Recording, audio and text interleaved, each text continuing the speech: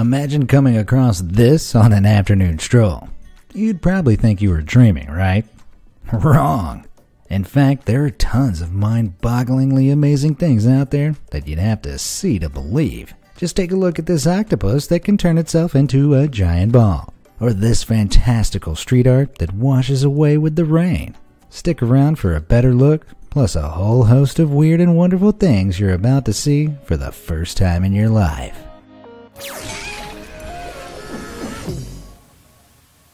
Being a kangaroo seems pretty neat.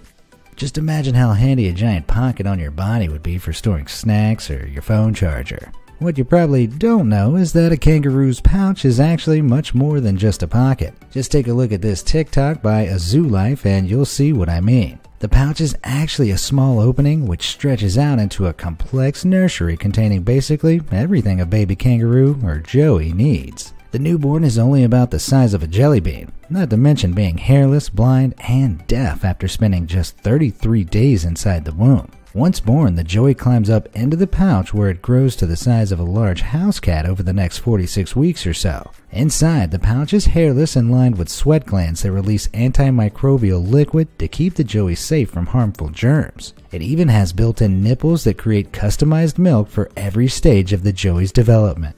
No wonder they're so reluctant to leave. There are loads of random questions you've probably never thought to ask, like, how do you weigh an owl? Well, here's your answer. But why wrap an owl up like a big old feathered burrito? Apparently, humans aren't the only ones who are afraid of stepping on the scales. These adorable photos come from the veterinary department at the Raptor Center Clinic, University of Minnesota, who were treating this poor saw-whet owl for a fractured pelvis sustained during its fall migration in 2013. Even injured owls are squirmy little blighters, and their sharp talons and strong wings could cause some serious damage. That's why vets choose to wrap the birds up in towels or blankets to make sure they stay still enough to get an accurate reading of their weight, which helps them keep track of their health. And if you thought that was cute, just check out this photo of a koala being weighed at the Kangaroo Island Koala Wildlife Rescue Center in Australia. What a well behaved little dude. Speaking of owls, did you know that juveniles often sleep like this? No, I'm not kidding.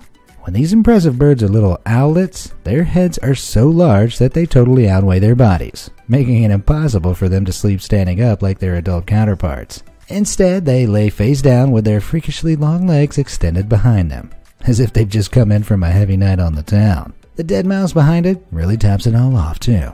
It's like the kebab you totally forgot about before you blacked out. I can't be the only one who thinks that looks like a toddler in an owl costume having a tantrum, right? And those legs. Who knows what other tricks owls have hidden up their sleeves? There's one way you could appease these feathered freaks, though, and that's by hitting that like and subscribe button. Duh. You should probably hit that little bell icon too, just to make sure you aren't missing out on any amazing content. Done? Alright, let's dive right back in. You'd be forgiven for thinking starfish are some of the least interesting creatures the ocean has to offer. After all, they don't really do much other than hang around stuck to rocks or coral, right? Well, you might want to check this out before passing your final judgment. Many species of starfish, like the adorably named chocolate chip sea star in this video, actually have the ability to move pretty quickly on their feet. And when I say feet, I mean thousands of hydraulic tube like extensions named podia that stick out from underneath them.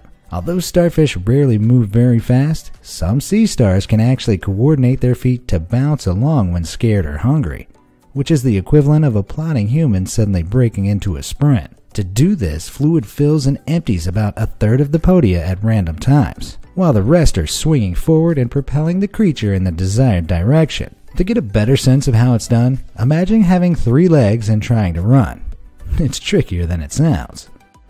Most plants are a total yawn fest, but allow me to introduce you to one of the coolest trees on the planet the rainbow eucalyptus. No, your eyes aren't deceiving you. These trees really are the color of the rainbow. Eucalyptus deglupta trees are mostly found in Hawaii, the Philippines, Indonesia, and Papua New Guinea, and they're one of nature's most beautiful wonders. As the bark of the rainbow eucalyptus peels off throughout the year, it reveals the bright green color of the fresh tree underneath. But as each new layer of bark matures at different times, it also turns shades of blue, purple, orange, and red until the whole trunk is a multicolored masterpiece. Their appearance isn't the only thing that makes these trees so great, though. because the oils extracted from their leaves are also thought to have a relaxing, almost medicinal effect. If only I could plant one in my backyard. Speaking of trees, have you ever seen one like this before? They may look like something from a sci fi movie set, but the truth is far more horrifying. You get a little closer to one of these bad boys, and you'll be confronted with a living nightmare thousands of spiders. But how did these arachnid invaders end up taking over these trees in the first place? When Pakistani cities were hit with 10 years worth of rainfall and flooding back in 2010, the dramatically rising water levels caused millions of native spiders to flee into the trees for the shelter, where they set up camp. This mass invasion resulted in spectacular cocoon trees that looked like ghostly figures against the sky as the light passed through their sticky webs. There was one surprising silver lining to all this chaos, though. The sudden influx of hungry spiders also meant that the number of malaria carrying mosquitoes was significantly lower. Let's take a minute to pick our jaws up from the floor, shall we? Do you know about any amazing, bemusing, or downright strange internet gems that just need to be shared with the world? Why not write in and let me know? Just send any footage or images you find online to clips at beamazed.com and you'll earn yourself a shout out in the next episode if it gets featured. Come on, don't be shy. Vending machines are pretty nifty inventions, until your snacks get jammed again. But wouldn't it be great if it wasn't just food and drink you could get at the touch of a button? Well, it seems like that future is finally upon us, because the very first car vending machine has arrived. Carvana, which won the Core 77 Design Awards in 2016, is the first fully automated, coin operated car vending machine invented in the US. The car vending machine dispenses cars originally purchased online to customers like a can of soda, creating what is described as an unparalleled user experience created through the combination of technology, robotics, and a custom made glass environment. To pick up a purchased vehicle, the customer just enters their name and drops a coin into the control panel, which then lights up and initiates a claw free vending process. The machine retrieves the car and places it on a track, which moves the vehicle to the designated delivery bay. Before you ask, no, you can't just shake it for a free one. They say laughter is contagious, but what if the laugh that starts off the hysterics comes from a fox? The idea of foxes laughing might seem a little too far fetched to be true, but just take a look at this viral video of an Arctic fox chuckling away, and you'll realize that they aren't so much different from us after all.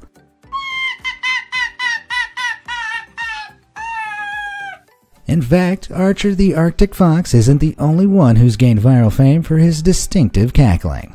Check out these giggling foxes who have been attracting attention on TikTok lately. It certainly seems like foxes can easily fall into a fit of full bodied glee, just like us humans. But is that really the case? According to animal behaviorist Jim Crosby, members of the Canidae family, like foxes, dogs, and hyenas, are capable of a lot of different vocalizations that we might interpret as sounds of joy or laughter, but we might also be slightly anthropomorphizing them. Still, they look like they're having a good time.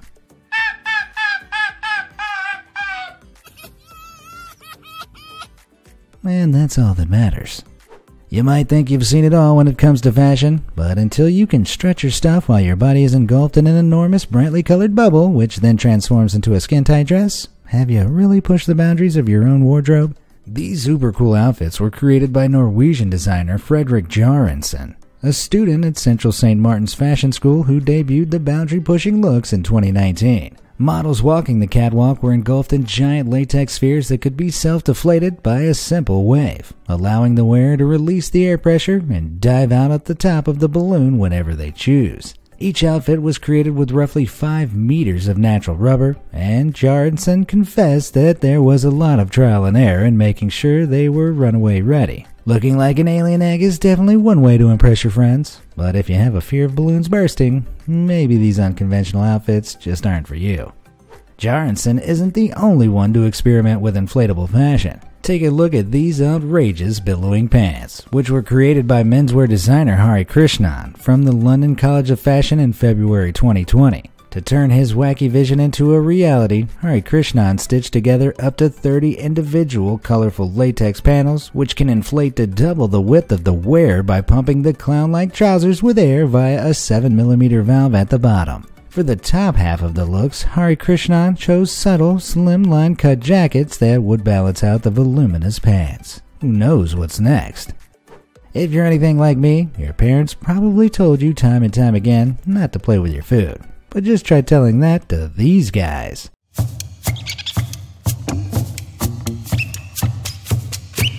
Okay, technically they're actually playing the food.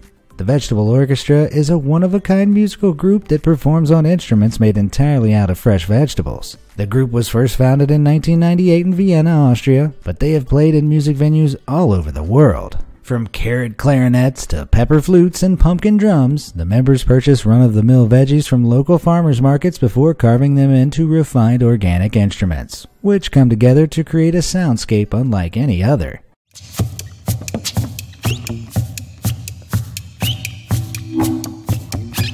Of course, each concert requires a whole new range of instruments, and that means a load of leftovers. But the Vegetable Orchestra have come up with a clever solution. After the show, they whip up a nutritious soup using their discarded vegetables for the audience to enjoy. Mmm, all that human spit really does add a certain je ne sais quoi. Take a look at these walls. They may look trippy, but there's a legit reason for their strange design. They're known as crinkle crankle walls, and if you want to see one for yourself, you'll probably have to hop on a flight to England first, where about 75 still stand, mostly in Suffolk.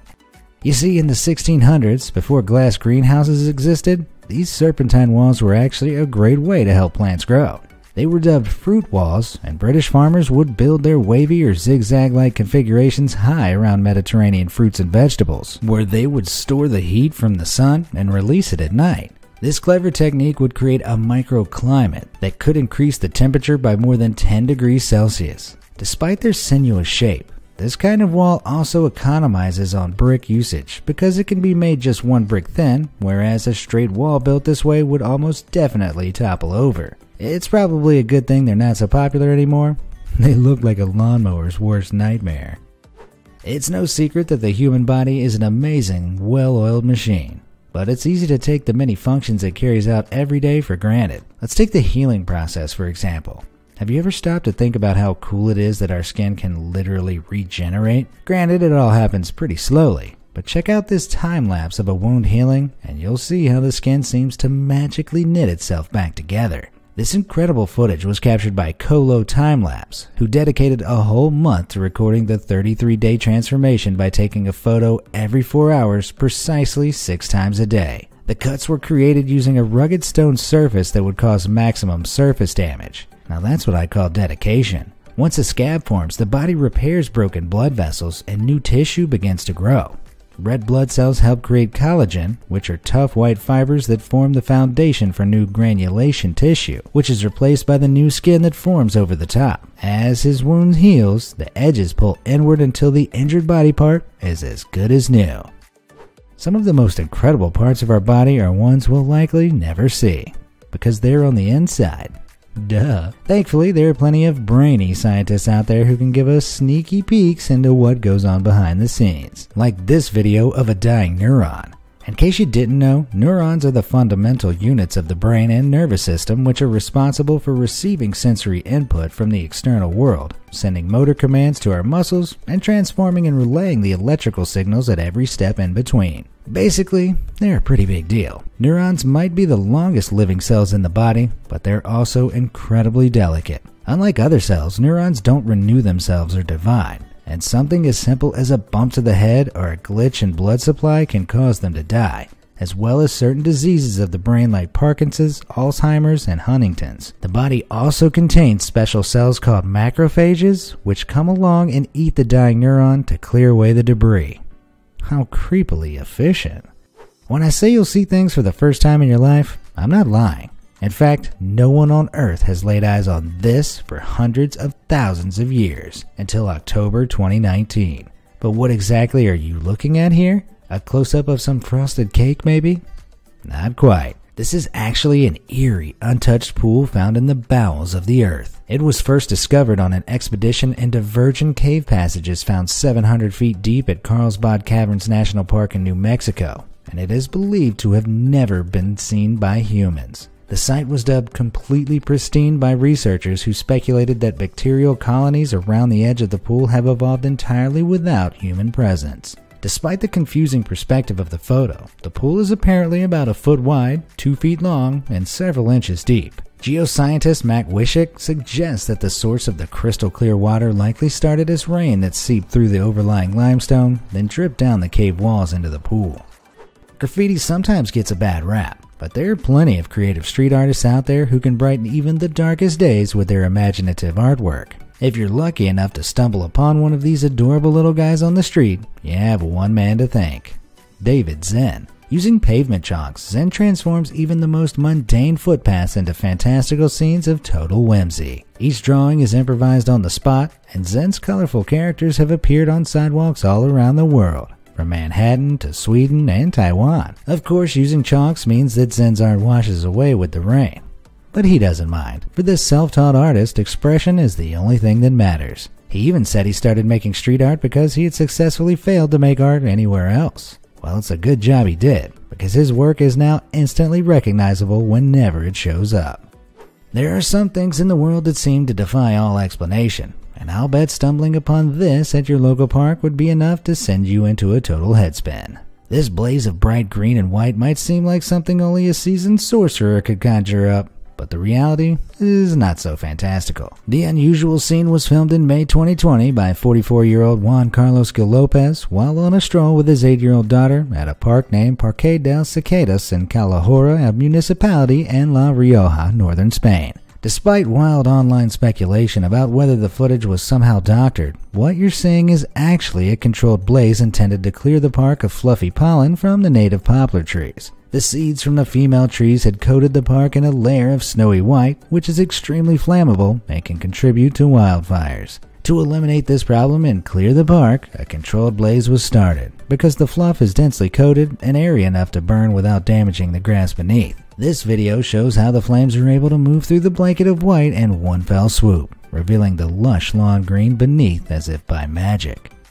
When it comes to jetting off for a while, most people would choose the hottest place on the map, but beaches and sunsets aren't for everyone. And if you prefer your vacays on the chilly side, I have just the place for you. China's Harbin International Snow and Ice Festival. This one of a kind event takes place once a year and attracts around 10 to 15 million visitors from all over the world, who can't wait to get a glimpse of the incredible snow and ice sculptures on show. It's the biggest display of its kind in the world, spanning over 600,000 square meters. The most incredible part has to be the Ice Kingdom, which is an entire city built from ice that has been cut by 10,000 workers and illuminated in show stopping colors. The tallest ice sculptures reach about 46 meters high, and the festival is only growing in size and ambition each year. So there's no telling what the sculptors will dream up next. One thing's for sure though, this is one event worth getting your winter coat out for. Of all the weird and wonderful creatures that live below the waves, octopuses have got to be some of the strangest. There are around 300 species of octopus which can be found in every ocean in the world, and each has their own unique quirks. But this ocean dweller really takes the cake with its ability to become an aquatic transformer. This eight tentacled show off was found dancing at a depth of around 1600 meters near southwest Baker Island in the Pacific Remote Islands Marine National Monument in September 2019. Researchers aboard the EV Nautilus research vessel were lucky to catch a glimpse of the creature billowing like a circus tent in the wind. Although the exact species of this octopus is unknown, it is believed to be a part of the Ceratophidae family, which often drift near the seabed at depths of over 2,000 meters, where light cannot penetrate the cold waters. Because of its hard to reach habitat, an up close glimpse like this is super rare. Researchers believe the octopus was trying to intimidate them by making itself seem as big as possible. But if you ask me, it just makes it even more adorable. Aww. If you enjoyed this video, but you're not quite done having your socks blown off yet, you should totally check out one of the previous episodes from this series. They're on the screen right now, so just go ahead and click them. It's really that easy. And don't forget to write in at clips at beamazed.com with any more amazing things I should see. And as always, thanks for watching, guys.